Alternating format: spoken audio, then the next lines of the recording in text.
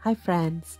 Invisible decrease is important in crochet, especially when making amigurumi. Unlike a standard decrease, an invisible decrease helps minimize the size of holes and removing bumps in amigurumi. So let's get to it.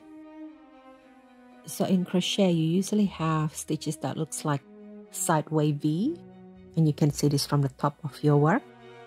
To make it easier, I'm going to mark the stitches so to do invisible decrease, we are going to work primarily on the front loop only.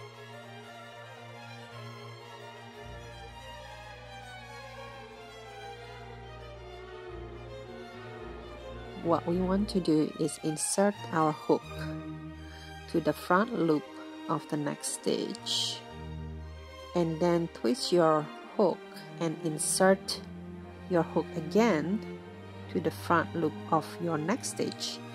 You will have three stitches on your hook at this stage. You yarn over and then pull through the first two.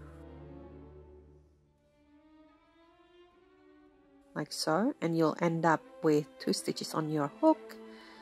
And then you'll yarn over again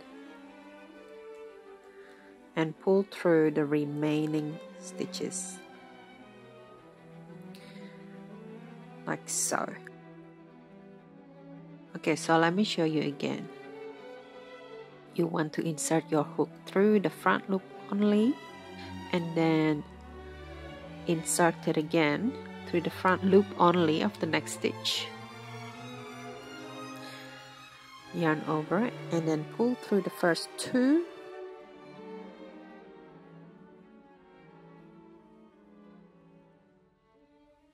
yarn over again and pull through the remaining stitches. That's it. Hope this tutorial helps you. Click here to watch my other crochet tutorials and free patterns